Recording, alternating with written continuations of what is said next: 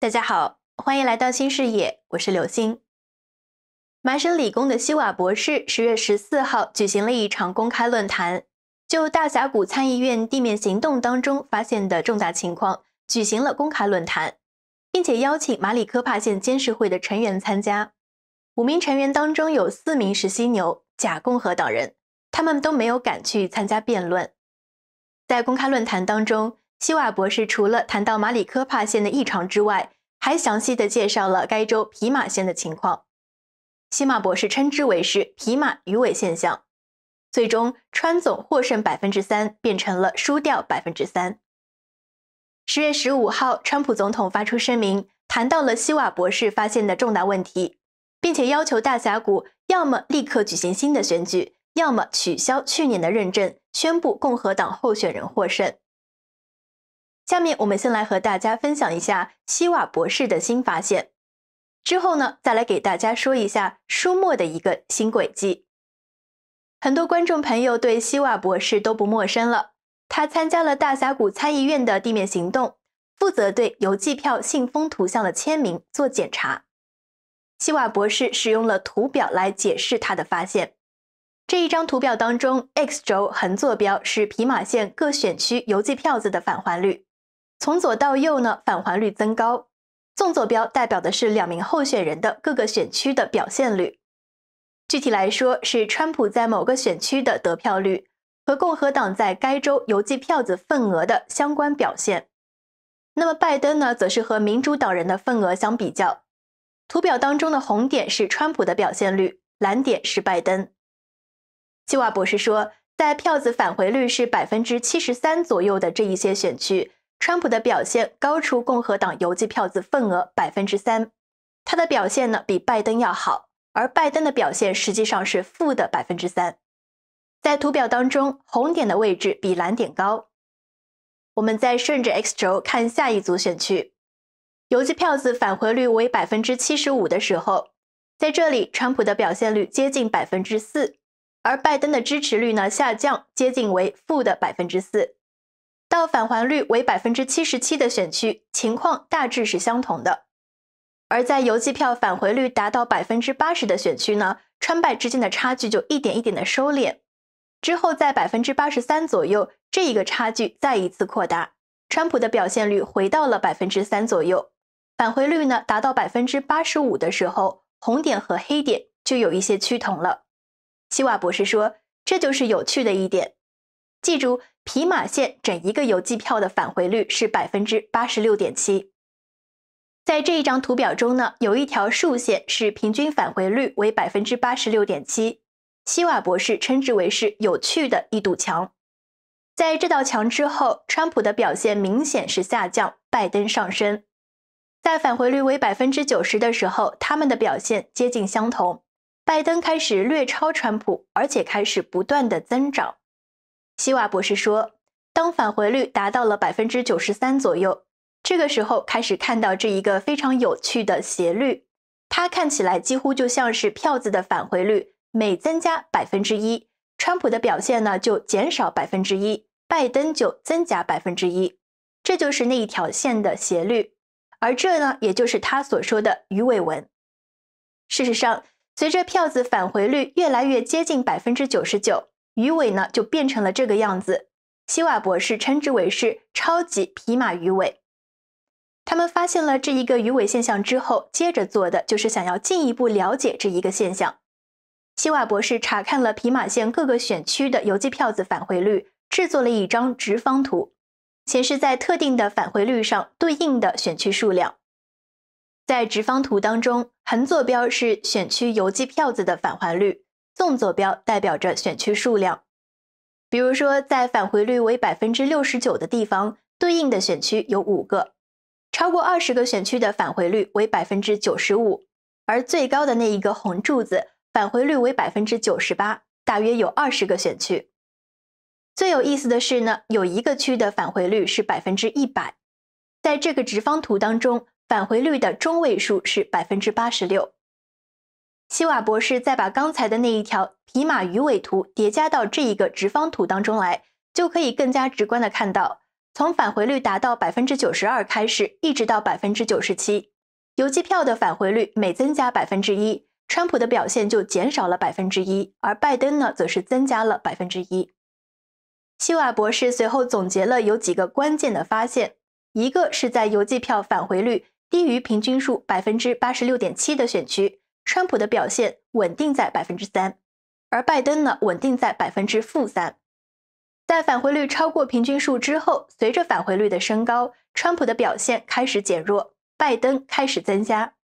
在返回率为百分之九十二到百分之九十七的选区，返回率每增高百分之一，川普就减少百分之一，拜登增加百分之一。希瓦博士形容这一个现象太迷人了。这是我们在推特里看到的希瓦博士公开论坛的两段视频。实际上，周五一早，川普总统就说。从亚利桑那州的公共记录、文件和投票当中发现了新的信息，它是致命的，是决定性的。今天将讨论这个问题。当天下午呢，川普又发出了声明，列出了希瓦博士讲到的皮马线和马线的问题，比我们刚才分享的内容更加多。川普一开头就说，对大峡谷皮马线邮寄票的一项新分析，意味着2020年11月的大事是被操纵的。这一项分析来自公开的数据，显示了皮马线惊人的反常现象和虚构的票子，表明他们塞满了投递箱。在一些选区，票子数量甚至超过了发出的数量。希瓦博士的这个发现说明，在皮马线，当川普显然要获胜的时候，他们就开始行动了。随着更多的邮寄票子涌入，每增加百分之一呢，川普的表现就减少百分之一，而拜登则增加了。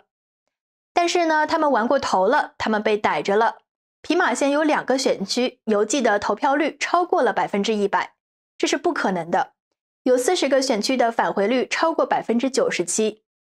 二零二零年全国的邮寄票返回率为百分之七十一，皮马县甚至超出了全国百分之十五，甚至比整个亚利桑那州所有的其他县的总和还要高出百分之十九。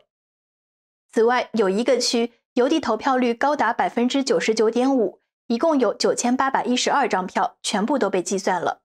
还有一个区的投票率为百分之一百点六，返回了两千一百八十二张，但是只邮寄了两千一百七十张。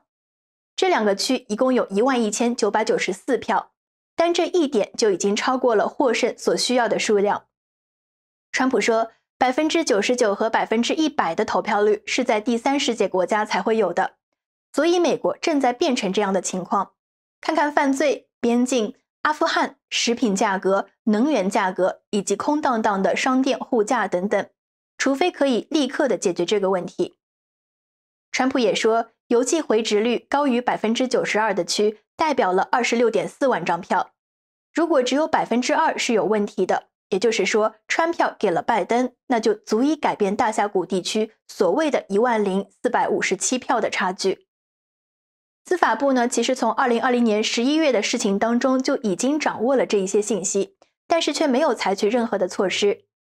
皮马县共和党应该开始对共和党选民进行敲门验证，以确定并且从系统当中删除明显的虚构选民。在隶属皮马的问题之后，川普再概述了马里科帕县数以万计的非法票，也是希瓦博士在公开论坛讲解的。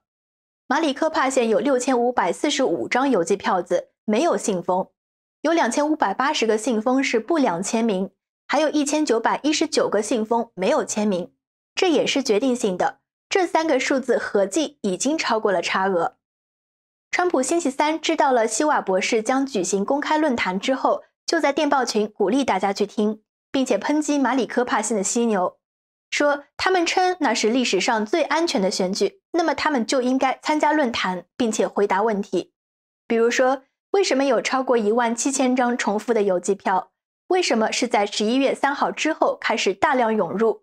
为什么票子比信封多出了六千多？为什么有一些信封没有签名就被盖上了验证和批准的印章？这是违法的。他批评马宪拒绝回答这一些问题，反而是射杀了信使。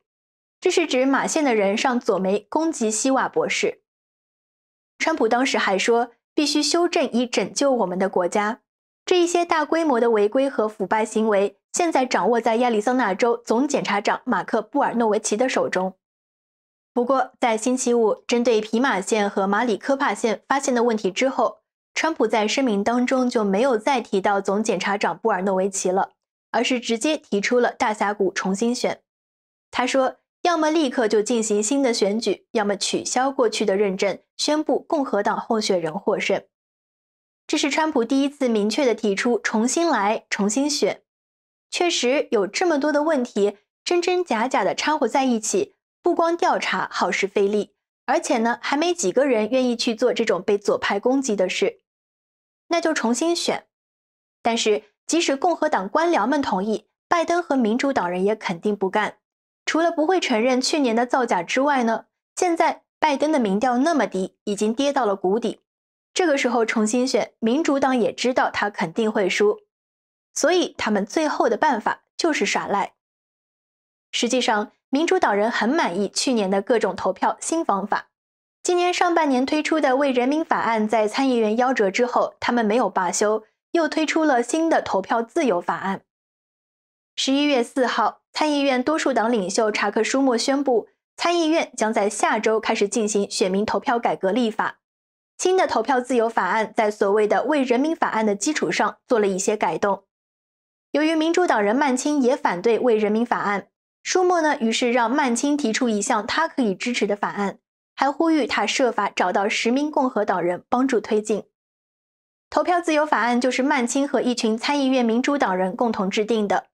这一项法案把选举日定为是国定假日，降低对选民身份证件的要求，允许他们用水电费账单和其他文件来代替各州颁发的带照片的身份证件。法案还将为政治运动提供匹配的政府资金，并且终止黑钱竞选捐款。舒默说：“这一个投票自由法案旨在扩大投票的机会，并且反对共和党州通过的选民诚信法。民主党认为红州的这一些法案过于严格。大家呢可能也注意到了，这一个法案提出的身份证明，比如水电费账单，这和不要求出示身份证没有什么区别。非法移民只要有一个地方住，就会有水电费账单的。”而其他的主要条款呢，和先前的所谓“为人民法案”也是差不多，试图是把去年那一些可以很容易做猫腻的方法合法化。民主党需要至少十名共和党人的支持，才可以迈过阻挠议事的门槛。曼青大概是找不到共和党参议员来支持的，因为这只是换汤不换药。共和党议员认为，民主党的这一个法案会把选举控制权从地方官员转移到联邦政府。并且会降低选民的诚信度，同时增加腐败的可能性。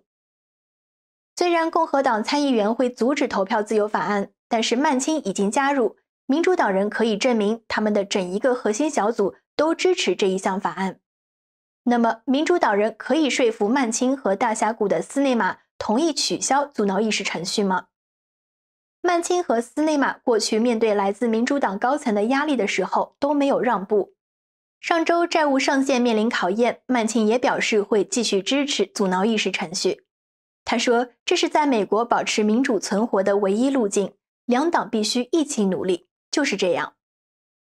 好了，今天就说到这里。喜欢我们的节目，请订阅、点赞和分享，谢谢大家！祝大家周末愉快，我们下期再见。